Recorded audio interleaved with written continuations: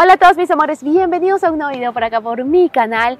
Desde acá, junto a mi casa, en el Donau Canal, quisiera contarles esa realidad de emigrar a Austria, Europa, solitos. Cómo ha sido mi realidad y cuál es la realidad a la que tal vez ustedes como inmigrantes se van a tener que enfrentar. Sí, viajan solos. Dios mío, esto va a estar fuerte. Comencemos.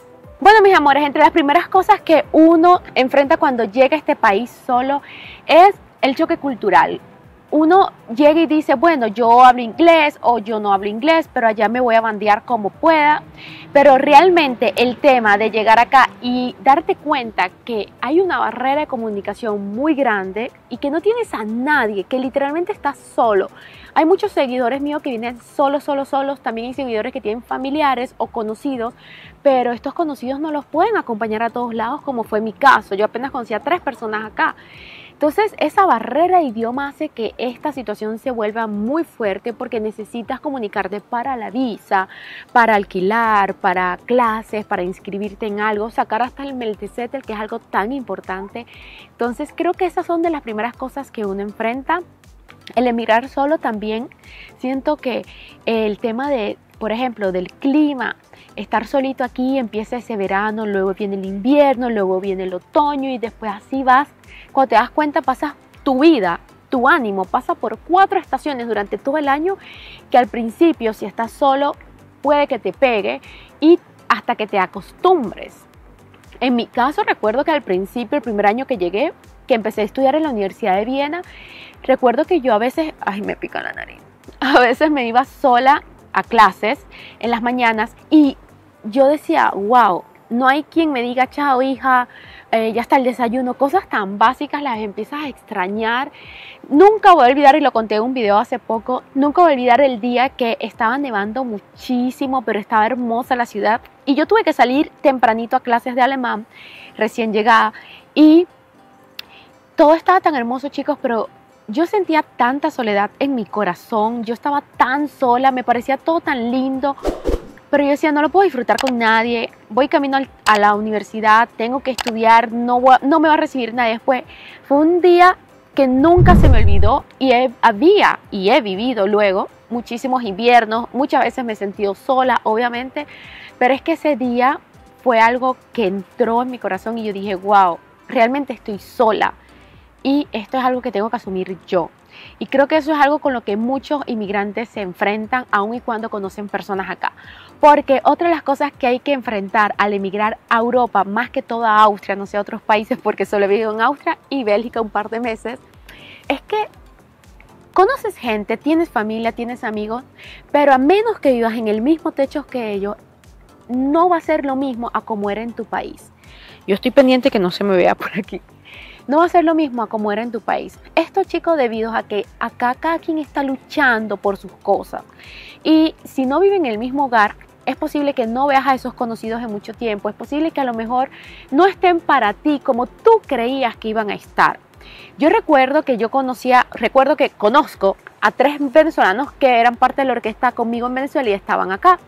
Y ellos trataron de ayudarme al máximo, pero es que ellos también estaban buscándose la vida en este país. Y yo llegué desde cero, comenzando cuando ellos ya tenían 5, 6, 7 años acá, y aún así estaban buscándose la vida y yo llegué prácticamente a ver qué hacer. Entonces, claro, ellos me ayudaban en lo que podían, me instruían, me decían cosas, pero es que yo estaba en cero, no tenía idioma, los necesitaba al 100%, casi que 24/7, pero ellos no podían.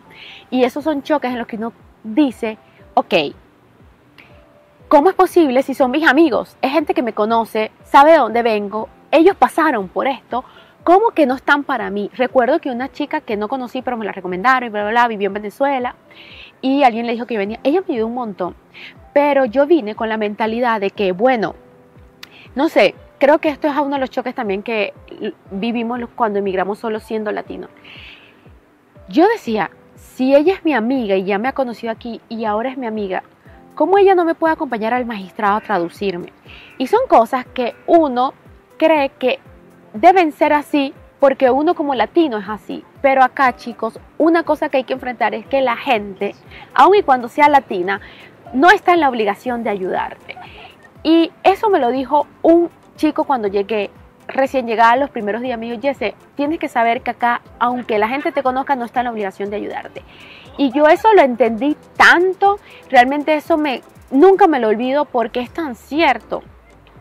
El tema de la amistad en nuestros países nosotros lo vemos como algo, este mi amigo va a estar ahí para mí 100% y acá no suele ser así. El concepto de amistad que nosotros tenemos acá con los locales o con los europeos, incluso con latinos que ya tienen mucho tiempo acá, ese concepto de amistad tal vez no es el mismo. Si vives en Austria o en cualquier parte de Europa y concuerdas conmigo en este punto, coméntame por aquí o si no concuerdas también incluso, porque esto es algo que yo he visto muchísimo entre la gente acá y me llamó mucho la atención al principio. Hoy día obviamente ya lo he entendido, he sabido que incluso, por ejemplo, mi hermano que está acá, puedo pasar un mes sin verlo porque él está en sus cosas. A veces digo, si está de cumpleaños y prefiere estar con sus amigos que conmigo, ¿cómo es posible? Esto no ha pasado, pero es un ejemplo. ¿Cómo es posible si yo soy su hermana? Pero es que la vida cambia, las cosas evolucionan y tal vez esos conceptos que tenemos allá de que este es patria muerte conmigo, es mi amigo, acá cambia. Y son cosas que uno enfrenta al emigrar acá, pero creo que si uno se abre lo va a entender y vas a aprender a vivir así. Bueno chicos, entre otras cosas lo que uno también enfrenta al vivir acá solito, solito, solito, es el tema de la comida. Muchos de ustedes seguros han vivido solos ya en sus países. En mi caso yo vivía en Caracas sola porque yo era de otra ciudad y yo pensé que emigrar para acá no iba a ser tan difícil para mí. Yo dije, bueno, ya tengo experiencia, desde los 15 años vivo sola en Caracas, ¿qué va a ser tan difícil? Chicos, la alimentación acá es algo muy importante porque aquí se consumen productos que no solíamos consumir tanto, por lo menos yo no, como el pan. Aquí se desayuna pan, pan, pan, pan, pan, pan, pan. Y no es nada tan nutricional. Y eso hace que uno de verdad, o sea, empiece a engordar, te empiece a dar algunos malestares de salud, el tema de que no hay tanta luz, entonces empiezas a tener problemas de vitamina D. Y como les digo, estás solo, no hay quien te cocine, no hay quien te ayude no hay quien te medique y te cuide en tiempos de enfermedad. Creo que estas son de las cosas más difíciles de enfrentar estando solo en Europa.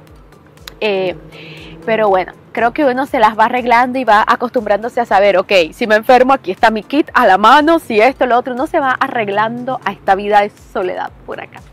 Otra de las cosas, chicos, para ir culminando es que nosotros cuando emigramos solitos, todo tenemos que buscar cómo alquilar, dónde buscar recomendación. Y para eso, por ejemplo, está mi canal de YouTube.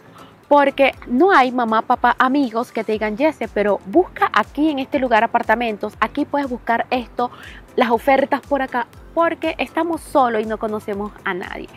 Tranquilos chicos, porque con el tiempo van a ir conociendo personas en la universidad, en grupos latinos, en grupos de lo que sea que vayan asistiendo y van a ser un grupo. Creo que el emigrar solo es un gran reto y realmente es de valientes. A todas esas personas que están viniendo a Europa a vivir solos, de verdad tengan la mayor de la disposición de aprender, de conocer gente, de abrirse y, muy importante, adaptarse a la nueva cultura. Porque si no, esta soledad se puede convertir en algo fuerte o grave para muchas personas. Es por eso que caen en depresión, en tristeza, empiezan a pensar mucho en que se quieren devolver o que devolverse es un plan B en caso de que no les vaya bien. Concéntrense en que están acá, de que han llegado y que van a dar lo mejor de ustedes y que se van a quedar. Si al final deciden irse, un perro. Si al final deciden irse, entonces, bueno, se fueron habiendo logrado todo acá. Pero vivir en estos países diciendo, yo le voy a dar lo que puedo y si no me devuelvo, creo que no es la mejor actitud, no se lo recomendaría porque ustedes no se imaginan la cantidad de cosas buenas para su futuro que pueden lograr si están con la actitud correcta acá. País desarrollado con todas las oportunidades, puedes aprender un nuevo idioma, conocer hasta incluso el amor de tu vida por este país, dependiendo de tu situación en la que hayas venido, si vienes solo, entonces créanme que puede cambiar su vida para siempre. Así que chicos, esto era un poco lo que les quería contar. En mi experiencia personal he podido avanzar en cosas en mi vida porque también he sabido escuchar a otras personas, no decir que lo que yo digo es la verdad, siempre escuchar cuál es la experiencia de las otras personas, aprender un poco y agarrar lo bueno, desechar lo malo, porque esto nos ayuda a evitar pasar por ciertas situaciones que otras personas han pasado. Así que bueno, espero que esto les ayude un poco en esta decisión, chicos, no tengan miedo, es parte de la vida, a veces nos toca a algunos por obligación, a otros por decisión propia. Eh, creo que 100% vale la pena. No se van a arrepentir, créanme que si hacen lo correcto no se van a arrepentir, siempre va a ser para bien.